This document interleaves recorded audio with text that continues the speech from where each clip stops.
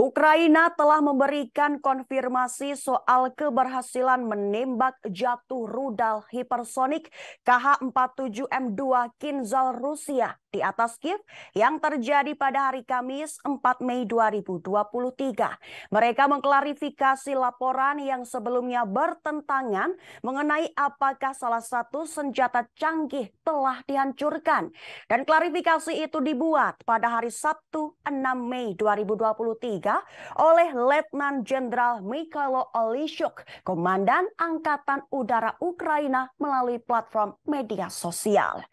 Ia menggambarkan peristiwa tersebut sebagai peristiwa bersejarah di mana Rusia meluncurkan gelombang serangan rudal dan pesawat tak berawak ke Ukraina yang sebagian besar berhasil dicegat oleh pertahanan udara Ukraina.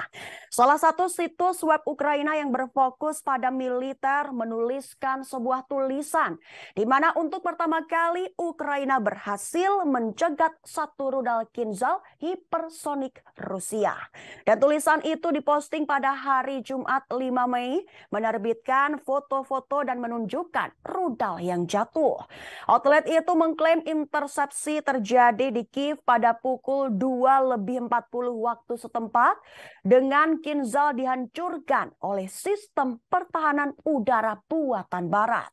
Awalnya juru bicara Angkatan Udara Ukraina belum bisa memastikan peristiwa tersebut.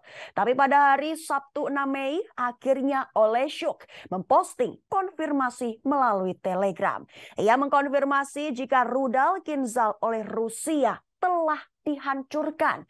Perlu diketahui jika rudal itu merupakan sistem rudal permukaan ke udara MIM 104 Patriot yang dirancang oleh Amerika Serikat.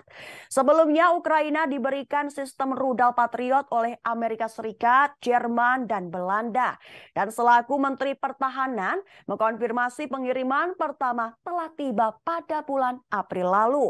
Sebagai informasi pada Sabtu 6 Mei Ukraina menuduh Rusia menggunakan senjata fosfor ke kota Bahmut di Donbas mana berusaha direbut oleh pasukan Moskow selama beberapa bulan dalam pertempuran. Terima kasih sudah nonton. Jangan lupa like, subscribe, dan share ya.